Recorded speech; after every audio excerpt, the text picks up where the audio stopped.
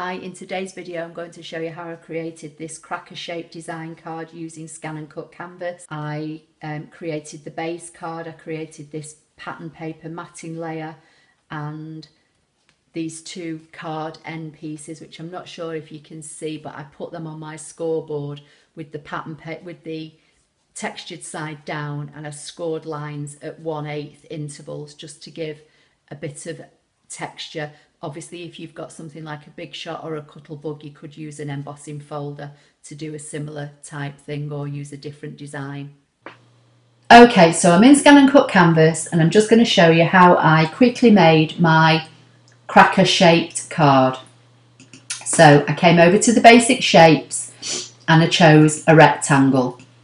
Now I dragged it out until it was about five inches, no, maybe about three inches high, I think. I can't remember, but I dragged it, I made, I started off with a basic shape. You can resize this any size you want. Obviously, I'm just showing you roughly how I did it. I have to say, I made this card weeks ago, so that's why I'm a little bit unsure of the exact measurement I used. But once it's made, you can manipulate it and drag it out and drag it up and in and at the end and resize it as you want. So I started off with a rectangle.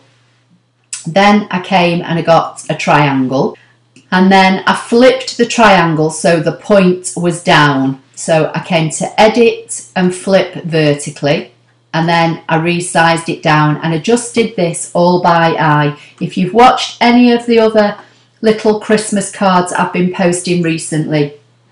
These were all done the same way, literally just by eye.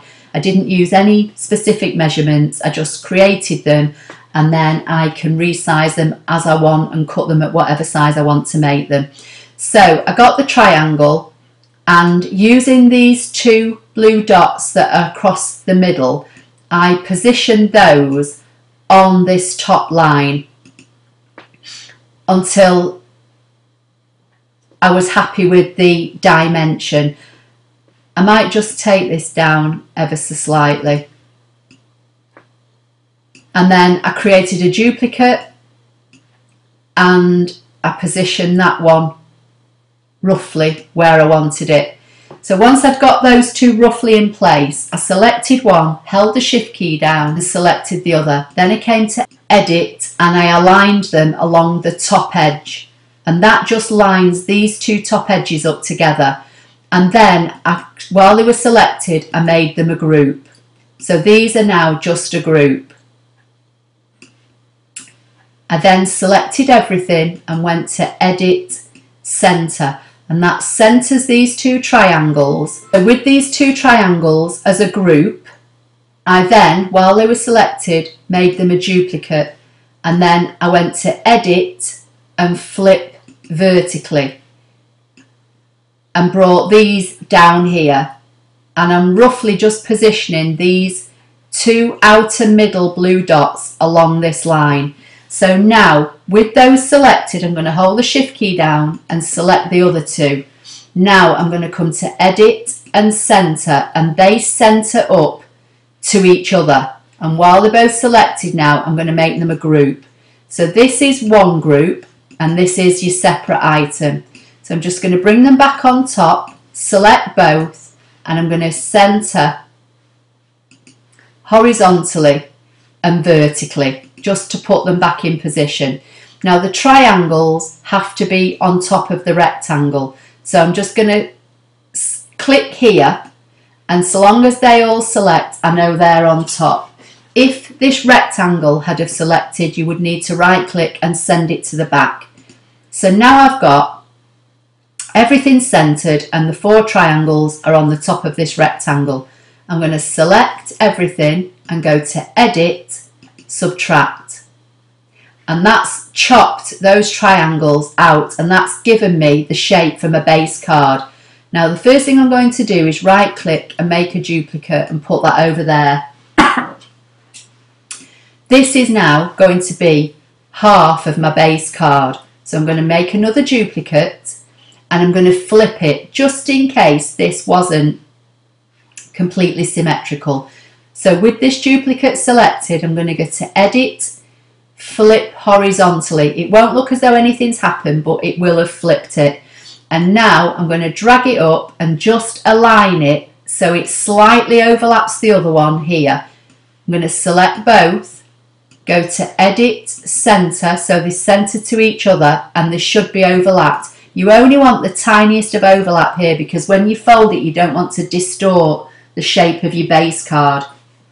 But if you've not got enough of an overlap, it won't weld. But usually, if you if I zoom in on this centre bit here, you can see that there is a gap, so you know they're, they're overlapping. So I'll just go back to fit to mat so you can see. So I'm going to select both, edit and weld. And that's now the base card. Again, if you want a paper insert, select it, go to edit, offset, take your offset down. I generally use about 0.08. Again, that's just my preference. You can use what you want. Say inward, say OK. Select the inward and I'm going to make it red so I know that's my insert. Then this one is obviously half of the main black base card but I want to make my matting layer that I cut in pattern paper. So my matting layer was 0.08 smaller. So again, I'm going to make it smaller. But before I do anything, I'm going to create another duplicate because I'll need that in a few minutes. So this one, I'm going to come back to edit, offset, take it down to 0.08, say inward and say OK and then select the smaller one which will be my blue pattern paper on my card and I'm just going to make it green. Make it a nice bright green. See if you can see it in fact I'll make it a dark green. And that then sits on the front of my card. Now to make the white pieces here on the ends which I cut and then put on my scoreboard and put score lines on. But if you've got something like a big shot or a Cuttlebug or something like that, and you've got a nice textured embossing folder, you could do that with them. I took my basic shape and again I'm going to chop it up. So I'm going to get a rectangle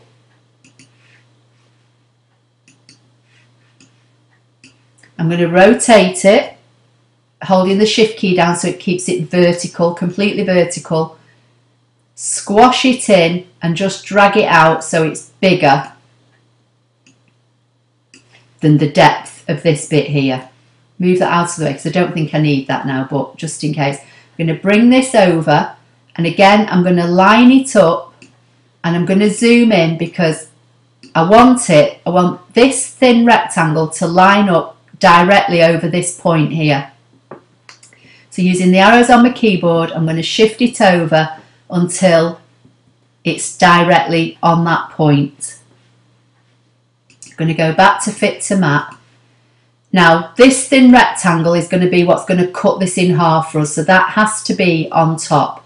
So I'm going to select both and go to edit, subtract, and that's cut that in half, but this is still a group when you select it. So right click and hit divide, and then it can move that out of the way.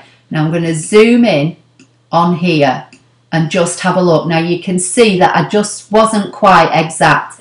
I can either undo and move it or you can double click to expose the nodes and just drag your nodes down and up at this end into line.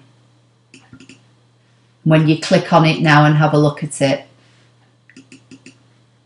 it's a bit, just needs to straighten up a bit and then come down here. Zooming in really helps on this kind of thing. Take it in so it's straighter and go back to fit to mat. So that looks okay and that is what I cut. But on this particular card, I cut it so it just sat over the pattern paper. So I need to take it down because this now is bigger than the pattern paper. This is the size of the actual base card. So again, I'm going to select it, edit, offset, take the offset down to 0.08 and say OK.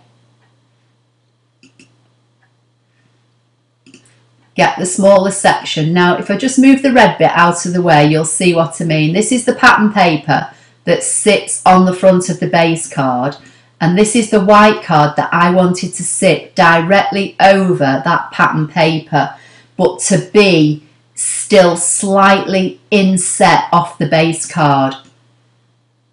So now I need two of these so I'm going to select this one right click and create a duplicate and then I'm just going to flip it and that's what sits on the other end. So these are all the elements to my card now. So that's my base card. That's my piece of pattern paper. This is my insert for my card. You don't need to cut that if you don't want. I tend to buy coloured paper and I try and match the colour up to whatever colour I put as a matting layer on the outside. You could use plain white copy paper or I would probably use a nice pale blue because on my card I, I cut my matting layer here in blue pattern paper so that's your matting layer. And then these two bits are white. So I would keep them together with this and I'd cut those all out at the same time. These are not needed anymore, so I can delete them. Again, you give your project a name and you save it into scan and cut canvas. You can obviously resize this, just layer it all back up together. If you're going to resize it, make sure everything sits on top of everything. And then select everything, right click and make it a group and you can then drag this out or make it smaller. You can drag it out this way if you want it thinner and longer. It's entirely up to you. I'm just going to leave it as it is for now. But don't forget, make sure you ungroup everything and separate out all your sections before you save it and then it just makes it easier when you bring it into your scan and cut machine. Obviously make sure everything sits within your mat. So I hope you found that helpful. Please give the video a thumbs up if you liked it. Don't forget to subscribe if you don't already do so. And I'll see you in the next video. Thank you.